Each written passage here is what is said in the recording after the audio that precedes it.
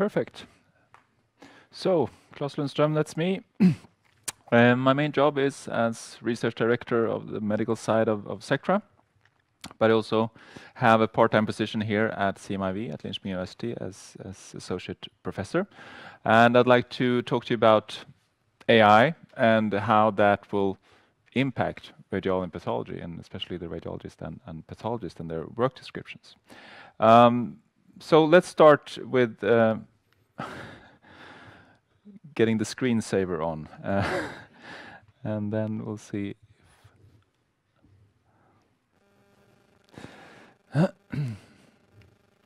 Here we are. Um, the first thing we need to reiterate and emphasize, it's been said very many times over, but let's not forget that the reason why we're talking so much about AI is that there's a huge potential that's largely untapped, actually. So um, we see that uh, in the Gartner Hype Curve as well, deep learning, uh, the main technique in AI uh, we're talking about, is at the top of expectations there. Um, and we also see that in the marketplace, the number of actors working with AI in diagnostic imaging is rapidly increasing. In the radiology conference, RSNA, this year or in November, Uh, there were 80 specialized vendors in the machine learning showcase. So uh, it's uh, and that's a very big increase from last year as well. So it's quite crowded in that sense, for good reasons, because of that huge potential.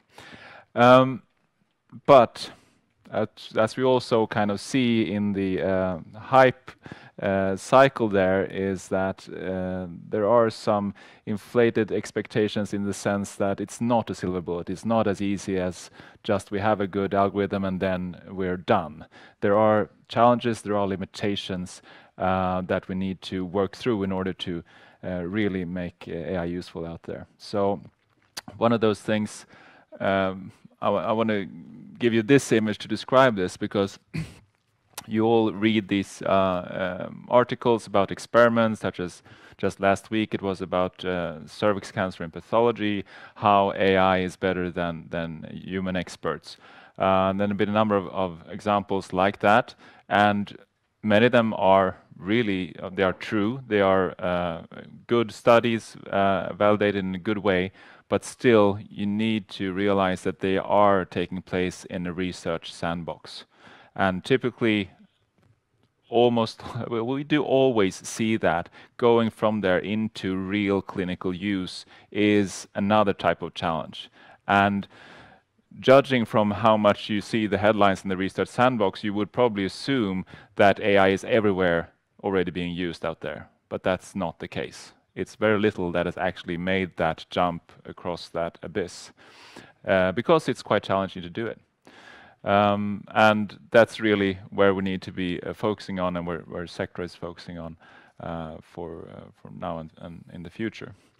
Um, one reason, one of the limitations that you need to understand is that any AI algorithm, those that you see create these uh, great results, they are very very narrow.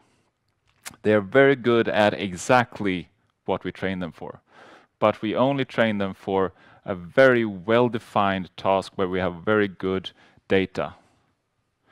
So if you look at the entire landscape of what a radiologist or a pathologist does, those uh, areas where AI can help today. I'm sorry, your screensaver is uh, um, messing with me.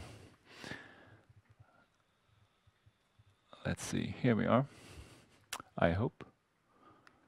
Let's go back. Sorry. Um,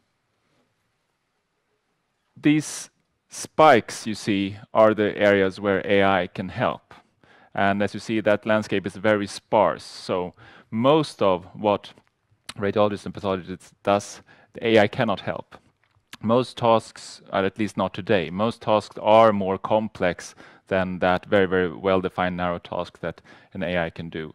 And it's very easy to, uh, you have to be careful not to move outside what the AI is good at.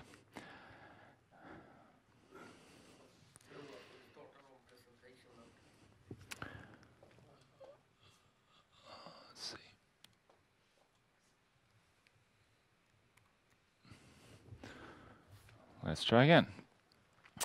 So to summarize, what um, what can we say about where AI stands today? Well, it's been a discussion, uh, especially a few years ago, like, will AI replace radiologists? Well, uh, I think this is the best answer to that.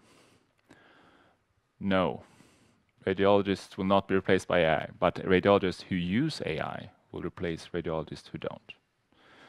Very good uh, quote from Professor Langlotz at Stanford that you've been mentioning before. Okay, so let's uh, look at more concretely what is AI, and this is an example that some of you saw in in the demo station uh, earlier. Um, this is a good example because uh, this is a very common task for radiologists. Following up on lung cancer patients is about finding these uh, lesions in the lung, the small nodules that you see. Um, and um, this is a very common task. It takes a lot of time. You have a patient coming back, you have a first examination, then a few months later, you have another one, another another one. And the task of the radiologist is to find all these uh, lesions, measure them, and in the report, uh, say to uh, the oncologist and others, uh, "Is this lesion growing or shrinking, or is it stable?" And this is not so hard in terms of uh, intellectually challenging for the radiologist, not at all. But it really takes. Oh, that's so many hours of work each day that they just use on browsing to the right slides and making those measurements. That's quite a simple task, so why don't we have AI help out with that? And uh, this is one of the areas where AI has really proven its value already. So uh, in this case, we instead would send off the uh, examinations to the AI algorithm, and once the radiologist looks at it it has already marked the lesions, already measured the lesions, and the radiologist's task is more to just confirm, "Yes, I think you did the right thing. I think you find something you should, be, should have found," and then report the findings, which then also can be kind of automatically populated for you, saving a lot of time. So let's look a bit of how and when AI can be used because it's quite a big, uh, quite many different scenarios where you can use it. Um, one is in kind of a triage mode, where we would first send uh, our images and data to the AI algorithm uh, to do some sorting or some prioritization, and then Uh, send off to the physician. Uh, there's of course the replacement, uh, where we take out the human expert as a whole. I think that is going to be quite rare. Um, but for things that are not done at all today, well, even if this is not perfect, it's better than nothing. So that's maybe where we'll see that. Um, the add-on goes to the physician first and then goes to some kind of deeper analysis with AI. I think we'll see that. But the most common one is what I would say is augmentation, where uh, the human expert and AI works together with the case, um, and combining the strengths of both. Both. So um, translating this into more concretely, what would this mean for a radiologist or pathologist? Well, um, as we saw, reduce time-consuming repetitive tasks, I think is really uh, the top one here that we wanna use AI for. Um, but we can also use it very efficiently, I think, to steer workflows, prioritize cases, prepare cases for faster reading. I think one good example that we might be seeing in pathology is you saw that very long list of slides that Anna is working with sometimes. Uh, sometimes the task is just to find the first occurrence of something. Now, um, if you have looked through 10 slides and it's in the 11th slide, you have lost a lot of time. If you can have an AI that kind of is not perfect, but thinks, says that, "I think that might be something here, let me put it at number one," well, then Anna just needs to look at the first one, then we're done. Things like that. For some narrow, well-defined assessments, I think we can use kind of uh, AI as a first independent reader of some sort, check for common errors, especially for junior physicians, absolutely, and then uh, assist in complex assessments. And to summarize this, I think this quote is really good. Going from factory worker to consultant, taking away those not so challenging tasks that take a lot of your time. I think that both radiologists and pathologists feel like being very much in a factory on the conveyor belt today, whereas they want to use their skills for the complex stuff, and this is really what we'll be seeing. So another way to put it, AI will make radiology fun again. I think is a great quote. So I think it's a very positive uh, mindset around this. A few years ago, it was more about fear about being replaced. Now I think that everybody's getting there to, to understand that this is a, a great potential in, in also for the personal work enjoyment. So to conclude this, uh, um, what's happening when AI is, is hitting the healthcare? Well, we think that we will see a trend towards going away from these silos. So instead of, of being a radiologist or pathologist, maybe in the future, uh, the more important uh, way of cutting uh, this cake is to be specific for a disease.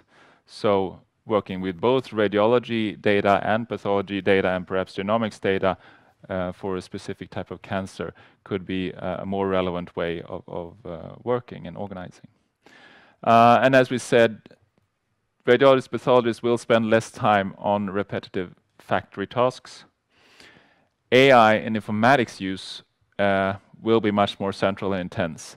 So the last few decades, uh, when we were talking about digitizing radiology and pathology, that was just the first step of how to use informatics. Now we're actually moving into a more interesting era based on that digitization to use analytics and really transform the way of working, helped with this uh, digital world. And I think that uh, we will see uh, diagnosticians being focused much more on being specialized in the informatics piece and in doing the analytics as separate types of, of examinations, if you will. And of course, the consequence is also that their tools must follow this development. So everything that they will be using will need to be AI powered and span all diagnostics, and that is also, of course, the, the reason why you hear us at Sectra talking so much about these issues.